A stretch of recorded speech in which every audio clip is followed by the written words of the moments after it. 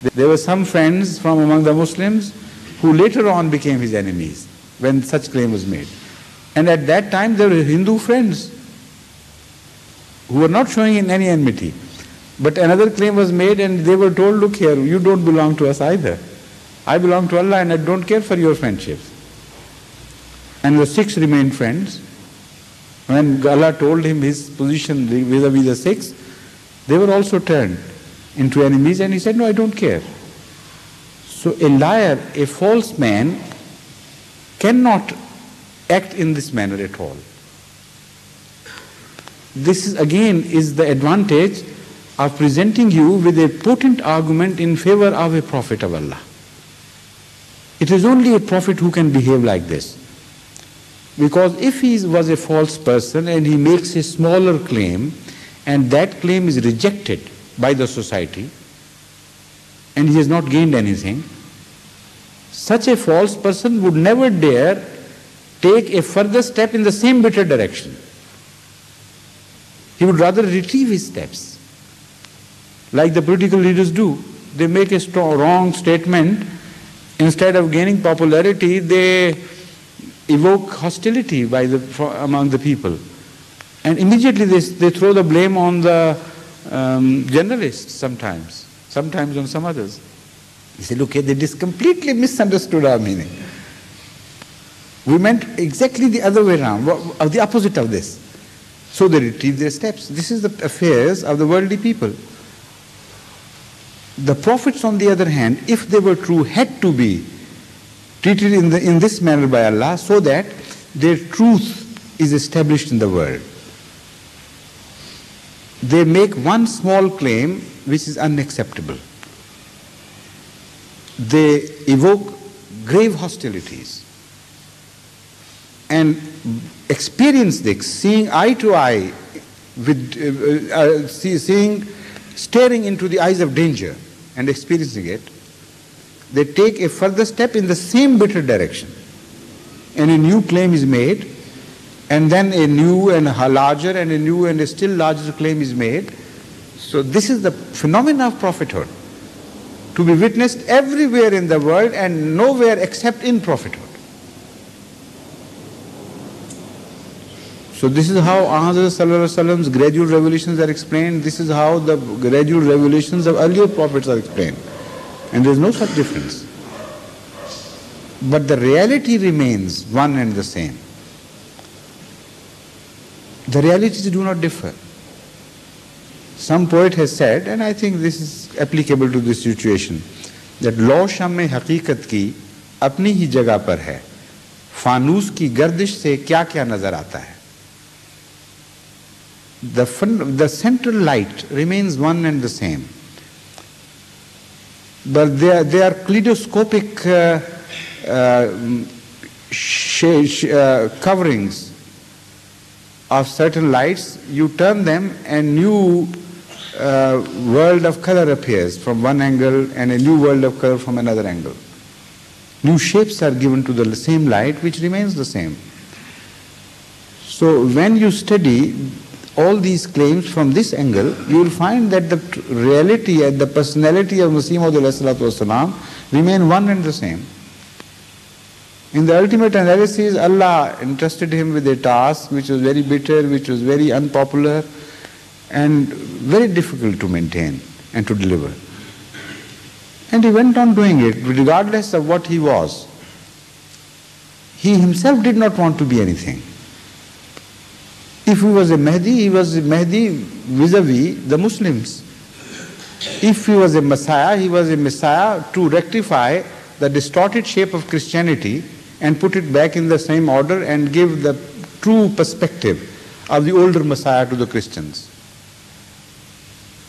If, was a, if he was a Krishna, it was a message to the Hindus that in the earlier days Krishna came like, an, a, like a monotheist. And this is how all the reformers ever appear. So the realities never change, although the titles seem to be differing one from the other, but Hazrat Masih Islam remained the same thing. So this is what is important. And this is how he should be understood. Huh? Time for prayer? All right. you, you are a new face.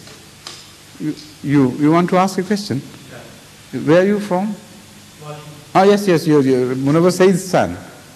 Huh? Right, come on. Because you are a visitor from United States and you are returning soon? I'm going to Pakistan on Monday. On Monday. So, all right, I'll give you. Uh, In the Bible, Ha- Jesus, Hazrat Isa speaks of the Holy Ghost. Is that the same thing as Ruhul Qudus? And if it is, could you explain? Yes, in fact, Holy Ghost remains the same. Although, again, here, his apparitions may differ. Hazrat Masih Maud has solved this dilemma for us once and for all. And this is one of his greatest services to the cause of Islam, that he rectifies our concept about angels. And he refers to this particular incident which you have just quoted.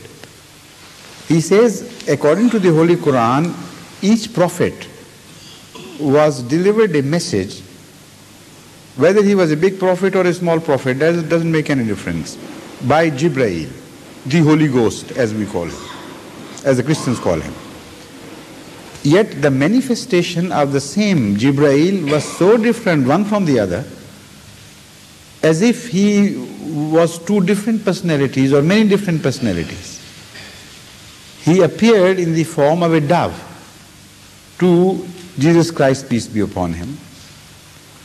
He once appeared in the form of a man of ordinary size to Hazrat many a time in fact. And sometimes he appeared like a man who was occupying the whole horizon, so vast and so huge and so powerful. Right from top to bottom on the horizon, he was occupying the whole space. So the reality of Jibreel did not change.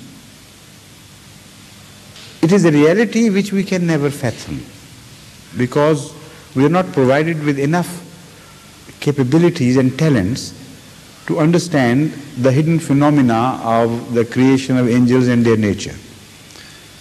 But we see them through their manifestations. And the manifestations differ so much one from the other that despite the fact that Jibrail is the same, the quality and the station of revelation does not remain the same in that regard. For instance, the quality of the, of, of the revelation of the Holy Quran is of the most excellent uh, order. And uh, qualities of the revelation of ordinary people today, we know many Ahmadis tell me their revelations, and uh, I know they are truthful people. But sometimes even their Arabic is wrong. So I don't tell them that you are a liar because Allah knows Arabic. How could He reveal to you in, in, the, in the wrong language? Because I know the philosophy of revelation, I understand the phenomena. I know that revelation is revealed not only keeping in view who is revealing it, but also keeping in view to whom it is revealed. According to the person it is revealed. People of smaller order get confused revelations because their own mental statement and spiritual development is not enough.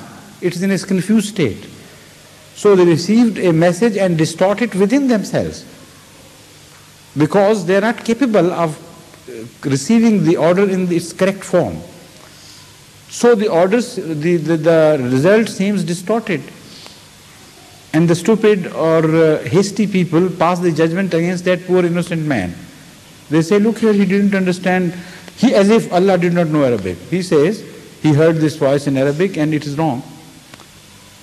While it is true, they have heard it because, but they are in a stage of development where their own internal system, which is rece- the receiving set, set of revelations, is not fully developed.